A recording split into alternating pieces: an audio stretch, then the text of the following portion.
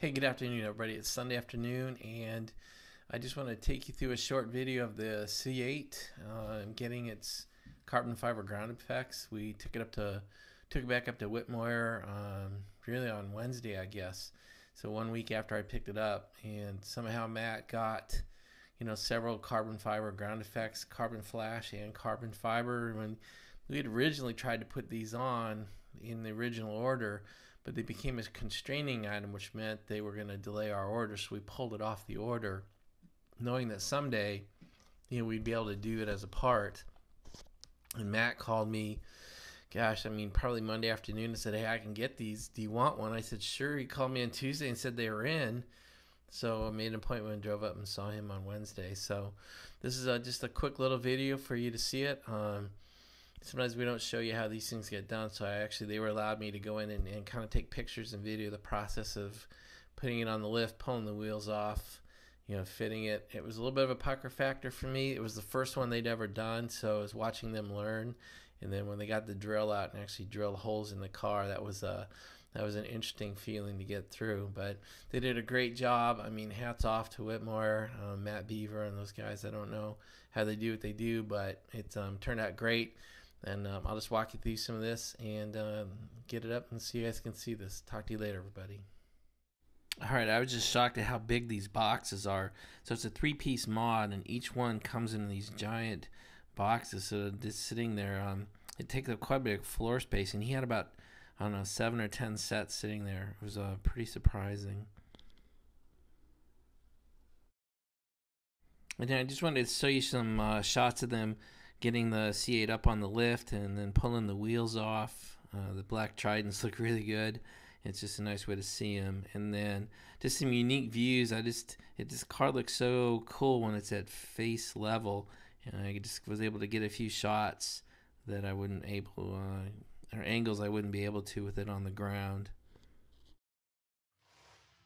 I probably sound like an idiot, but once they got it up high enough, I could walk under it. It was so cool to see that the C8 has a completely flat bottom like a supercar does. I don't know what I expected, but I was just, uh, I don't know, I was impressed enough that I wanted to show you exactly what the entire bottom looked like, and it, it looks like a high-end Mercedes or, or Ferrari, and I just thought that was cool. Cool just these guys trying to figure this out. This Corvette. is the first time Whitmoyer had done a ground effect mod, and so they just took their time finding the templates and getting them placed in the right place and then you see them trying to figure out the the part itself and just how does it fit? Where are the drill holes?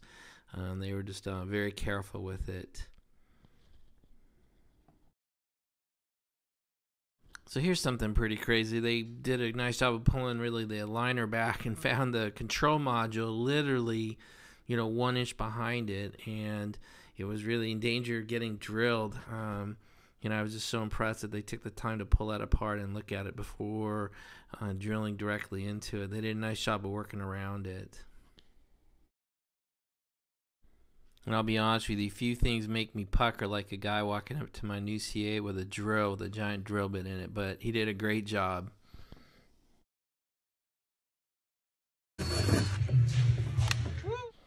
And the final product, uh, the giant hole. And I hate talking over all these, but I get um, copyright infringements, and they pull my videos down every time I leave background noise on in these things. So I just want to show you them drilling up from the bottom now, and then um, an after shot here of the, you know, of one of the ground effects installed. And I'm gonna talk over this one too, to show you the gap, how small it is. It looks like a rock catcher to to us as we saw it. Hopefully it doesn't collect too much ground or road grit. We'll see. But um, it's beautiful. It's true carbon fiber. They did a beautiful job fitting it and getting it drilled.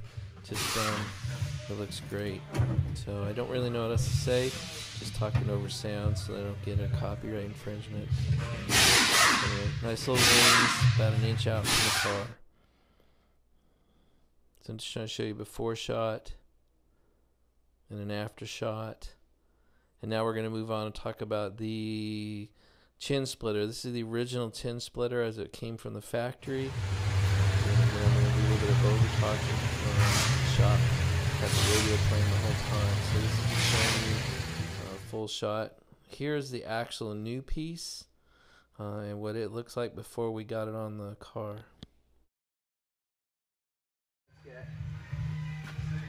You don't, if you don't have it perfectly started, they like, that's probably what happened with that one there. Yeah, I'm gonna. This is the new one, and what looks like it's somewhat sticks out at least to, uh, a couple inches further.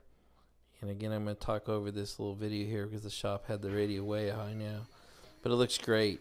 Um, tiny little winglets on the end, and it just um, just sticks out great. Um, looks great. And as an added bonus, uh, sorry for the fuzziness, but we hit the 500 mile break-in mileage on the way home from Whitmoyer, so we are now going to get our break-in oil and filter changed, and hopefully get to go do something with this car soon. Alright guys, I thought I'd just show you a walk around. So here in Maryland, we get what's called the pollinating or the greening. And it's starting a little bit early this year. And it'll continue on through April, but this is just after really a day or two. So I thought I'd show you this real quick. I'm gonna wash it. Don't get don't get don't get too greedy. Don't too unhappy on me. I'm gonna wash it all off, and then we'll do a walk around with the new carbon fiber on it. All right, got to clean. Just do a quick walk around on these carbon fiber uh, ground effects we put in. So we had the uh, new chin splitter put on, and then these side vents. That's really it's just a three-piece mod. God, it's hard to see in this light. It's hard to see because everything's black.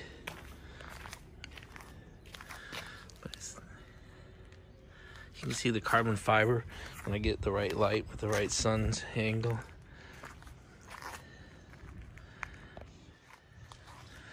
That's it. Anyway, it's clean. Looks a lot better.